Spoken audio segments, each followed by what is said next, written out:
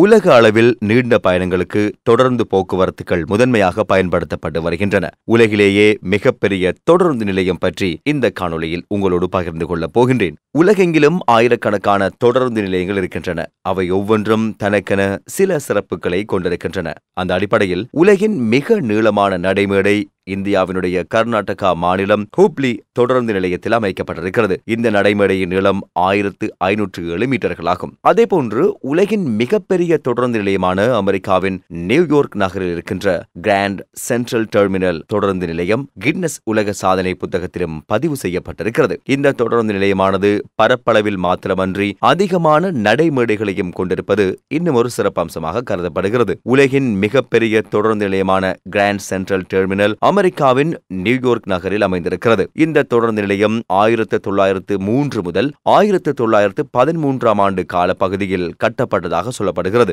இந்த நியூயார்க் தொடருந்து நிலையத்தில் மொத்தமாக நாற்பத்தி நான்கு நடைமேடைகள் இருக்கின்றன. அதாவது மொத்தம் நாற்பத்தி நான்கு தொடருந்துகள் ஒரே நேரத்தில் இங்கு தரித்து நிற்கக்கூடிய வசதிகள் இருக்கின்றன. இந்த தொடருந்து நிலையத்தின் வழியாக தினமும் சராசரியாக அறுநூற்று அறுபது மெட்ரோ தொடருந்துகள் செல்கின்றன. ஒரு லட்சத்து இருபத்தையாயிரத்திற்கும் மேற்பட்ட பயணிகள் இந்த தொடருந்து நிலையத்தின் மூலமாக தினமும் பயணங்களை மேற்கொள்கின்றனர். இந்த தொடருந்து நிலையத்தில் இரண்டு சுரங்க பாதைகளும் இருக்கின்றன. இந்த தொடருந்து நிலையம் சுமார் நாற்பத்து எட்டு ஏக்கர் நிலப்பரப்பில் கட்டப்பட்டுள்ளதோடு இந்த தொடருந்து நிலையத்தில் ரகசியமான ஒரு நடைமேடை தளமும் கட்டப்பட்டிருக்கிறது என்பது இன்னும் ஒரு சுவாரஸ்யமான விடயமாகும். இந்த ரகசிய பாதையானது அமைக்கப்பட்டதன் காரணம் இரண்டாம் உலகப் போரின் போது முன்னாள் அமெரிக்க ஜனாதிபதியான பிராங்க்லின் ரூஸ்வெல்ட் சக்கர நாட்காலியின் உதவியோடு நேரடியாக இந்த நடைமேடைக்கு வந்து தனது பயணத்தை மேற்கொள்வதற்காக அமைக்கப்பட்டது என்று சொல்லப்படுகிறது. இதன் காரணமாக அவர் பொதுமக்களையும் ஊடகத்தையும் எதிர்கொள்வதை தவிர்க்க முடியும் என்பதன் காரணமாக இந்த நடைபாதை அமைக்கப்பட்டதுடன் ட்ராக் சிக்ஸ்டி ஒன் என்று அழைக்கப்படுகின்ற இந்த நடைமேடை இப்போது பயன்படுத்தப்படுவதில்லை என்பதும் முக்கியமான ஒரு விடயமாகும்.